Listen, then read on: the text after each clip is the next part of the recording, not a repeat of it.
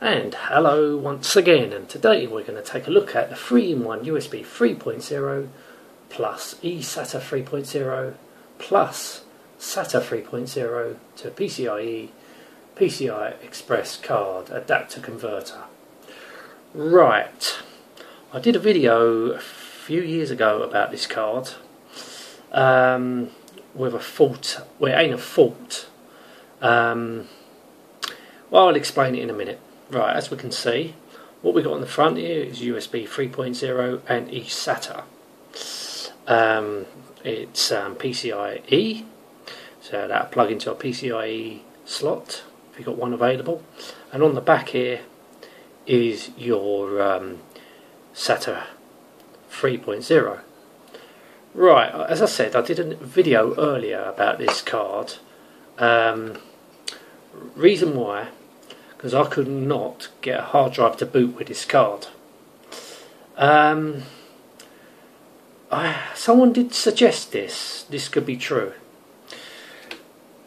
What it's what it's advertising is actually false, and I've noticed these cards have been withdrawn from sale or they've been withdrawn from Amazon.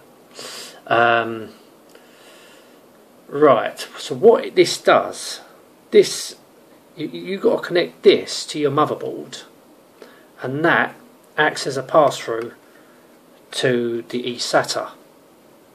So this card will not boot um, unless you've got that plugged into your motherboard and you've got your eSATA plugged in.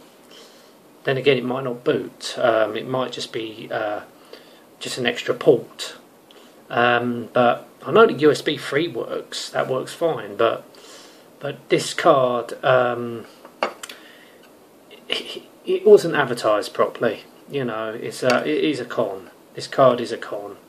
Because um, I couldn't figure out why I could not boot it from the card.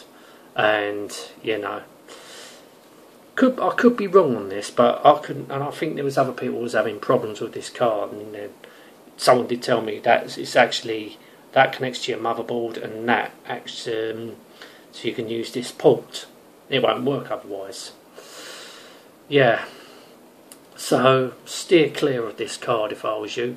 If one turns up on eBay or anywhere steer clear of it.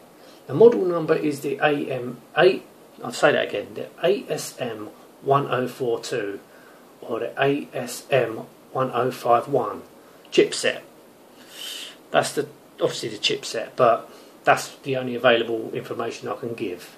Because if you click, if I click on the link, it says we're sorry, the web address you've entered is not functioning, and so so this card must have been withdrawn. So that's all I can say about this card. Um, yeah, you can use it as the USB 3, and that's about it. There's no auxiliary ports for USB 3s. It's pretty pointless, really, this card. Anyway, I'm going to end this now. Thank you so much for watching. Till next time, and goodbye.